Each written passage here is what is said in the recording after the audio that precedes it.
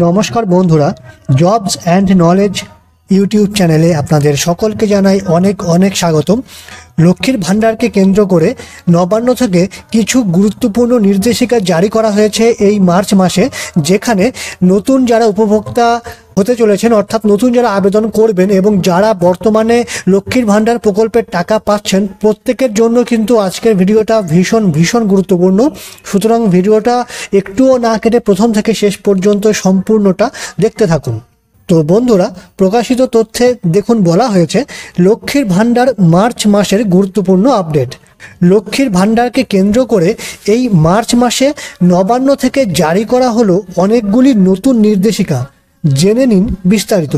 News update অনুসারে চলতি মাসের মাঝামাঝি, অর্থাৎ মার্চ মাসের পনেরো তারিখে প্রত্যেক লক্ষ্মীর ভাণ্ডারের উপভোক্তা মহিলারা পেয়ে গিয়েছেন তাদের প্রাপ্য টাকা।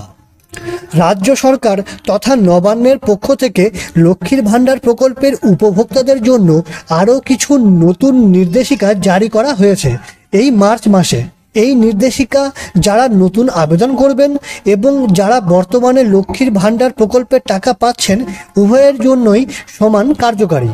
এপ্রিল মাসের প্রথমেই শুরু হচ্ছে দুয়ারে সরকার শিবির। এই দুয়ারে সরকার শিবিরকে লক্ষ্য করে নবান্ন থেকে জারি করা হয়েছে এই সকল নির্দেশিকা। যেখানে বলা হয়েছে, নতুন আবেদনকারীরা যেন অবশ্যই দুয়ারে সরকার থেকে প্রাপ্ত নতুন ফর্মে আবেদন করেন এবং ব্যাংক অ্যাকাউন্ট যেন তাদের নামে থাকে, অর্থাৎ সিঙ্গেল অ্যাকাউন্ট কিন্তু হতে হবে এবং এই ব্যাংক অ্যাকাউন্টের সঙ্গে অবশ্যই আধার লিঙ্ক থাকতে হবে।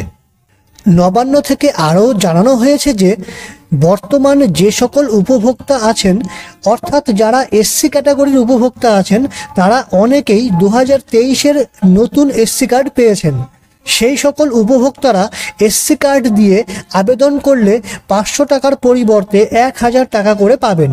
এর জন্য অবশ্যই তাদেরকে এসসি কার্ডের কপি এবং উপযুক্ত ফর্ম যথাযথভাবে পূরণ করে দুয়ারে সরকার শিবিরে জমা করতে হবে। সূত্র মারফত এটাও জানা গিয়েছে যে সকল লক্ষ্মীর ভাণ্ডার উপভোক্তাদের অ্যাকাউন্টে টাকা আসা বন্ধ হয়ে গিয়েছে, তাদের পুনরায় টাকা আসার বিষয়টা এপ্রিল মাসের দুয়ারে সরকার ক্যাম্পে সমাধান করা হবে। অর্থাৎ বন্ধুরা, আপনারা তাহলে দেখতেই পারলেন, নবান্ন থেকে কিন্তু একসাথে অনেকগুলো নির্দেশিকা জারি করা হয়েছে, যেগুলো লক্ষ্মীর ভাণ্ডার প্রাপকদের জন্য।